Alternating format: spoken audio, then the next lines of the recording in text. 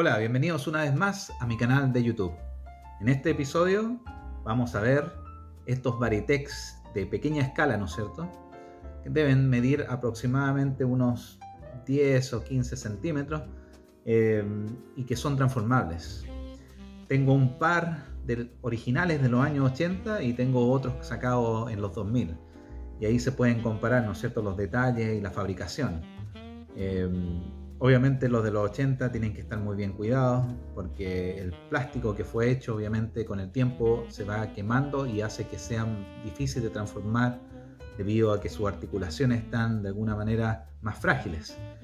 Pero de todas maneras siguen siendo una pieza de colección. Así que bueno, en fin, espero que les guste el video que viene a continuación.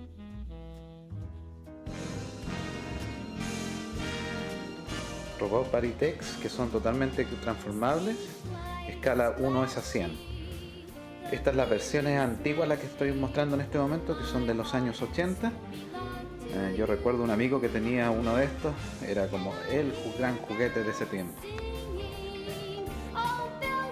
Están en un estado bastante delicados y, por lo tanto los tengo yo en una vitrina porque son muy delicados, no pueden jugar los niños con ellos. Eh, esta es una versión más moderna de Toynami del año 2006.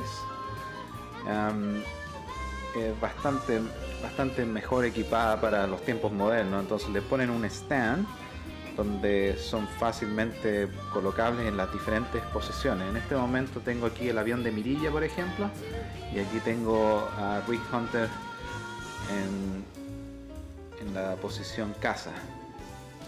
Eh, se puede transformar en robot, pero eh, encuentro que se ven mucho más cool cuando son eh, en estas posiciones. Así que bueno, Espero que les haya gustado estos, son bastante simpáticos, a me gustan mucho, se pueden usar de adorno en un escritorio por ejemplo y se ven bastante bien. Nos vemos. Chao, chao. Espero que les haya gustado este video y bueno, una vez más, una pieza de colección y estos parités que se pueden colocar en esta plataforma, ¿no es cierto?, pueden servir de una bonita decoración en una oficina o en un mueble, ¿no es cierto?, de, tu casa, ¿no es cierto?